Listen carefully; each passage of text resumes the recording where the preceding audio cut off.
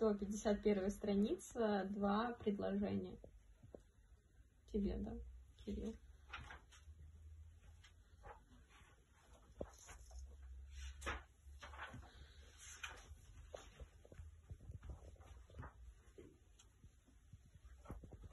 Мученик, которого пожелали отметить уродством, мученик, которому ломают голень, мученик, одетый в звериную шкуру, другой мученик, выставленный с этой же целью. Так, Саня, 156 абзац. Сверху. Первый. И не мог вспомнить. В поисках Джанка принялся обшаривать всю квартиру. Незадолго до этого я заныкал кусок опия в щели пола в одном из углов комнаты. Он с концами завалился под половице. Несколько раз я безуспешно пытался вытащить его обратно. Кирилл, 103 абзац посередине.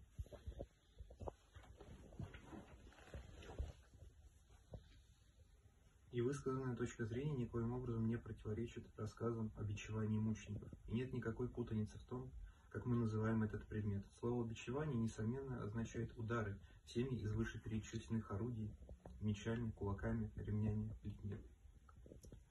Саня, 56 предложение первое сверху. «Убери от меня нахрен этого волка!» – заорал он. Кирилл, 35 абзац снизу.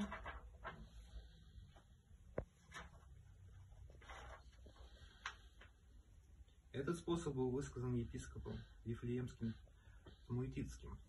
Его цитирует в церковной истории Евсевий. А говорит он следующее. Оставшиеся вновь были связаны лицом друг к другу, подвешенные на столбах с ногами, не достающими до земли, таким образом, чтобы конята были натянуты как можно туже. Самым жестоким было то, что жертвы чувствовали муки под тяжестью собственных тел. Саня, 21 предложение посередине. Прошло всего несколько минут, а он уже стучался в дверь. Кирилла, 37 предложение снизу. Из этого по выше приведенным сообщениям Никифора следовало, что все верно. Саня, 97 абзац посередине.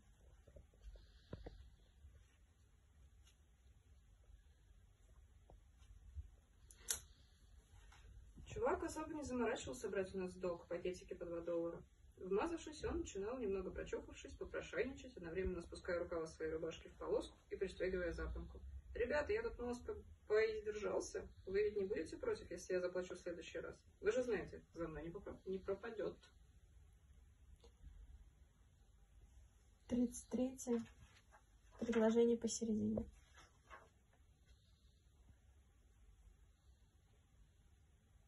Так мучился Митридат 17 дней, и лишь на 17 умер.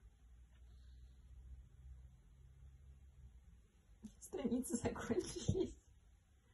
68 абзац посередине.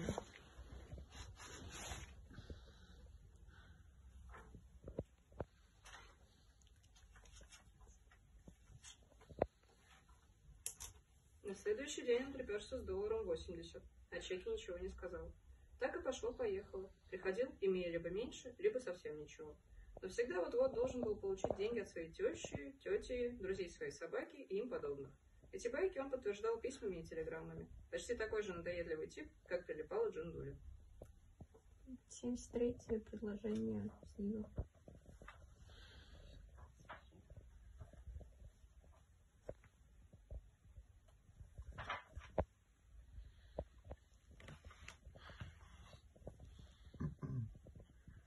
Ересь, не терзающая природу человека, не может нас успокаивать, как не может нас не беспокоить ересь по гласному укращению и приручению.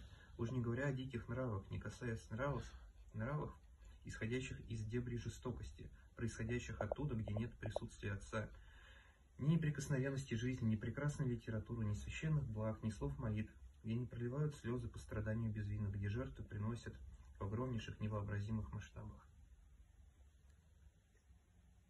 Когда конец?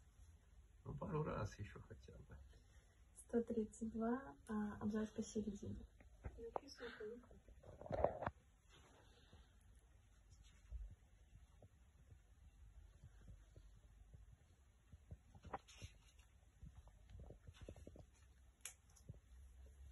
В начале октября пришло письмо от моих поручителей, извещающее о предстоящем через четыре дня рассмотрении моего дела. Я звякнул Тайджу.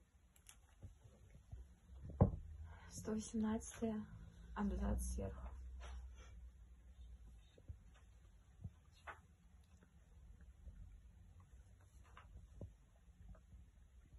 Далее, мы не должны удивляться тому, что святого Себастьяна после его смерти протащили крюком до Большой Клоаки. Там язы- так язычники бесчестили уважаемых христиан.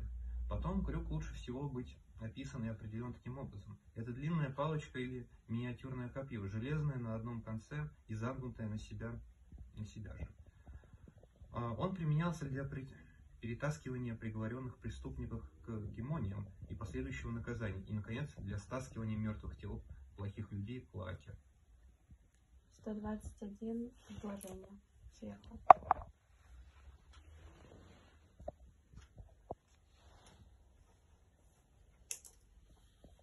Остальные были затеканные, безмазовые массой людей. 99 предложение посередине.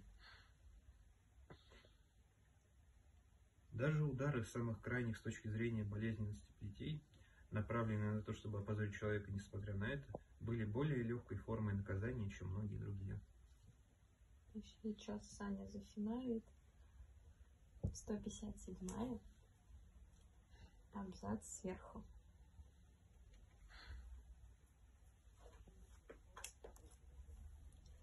Просачиваясь сквозь повязку, кровь крупными каплями падала на пол. Вернулся в постель. Я не мог спать, не мог читать. Я лежал и стоически глядел в потолок. Хороший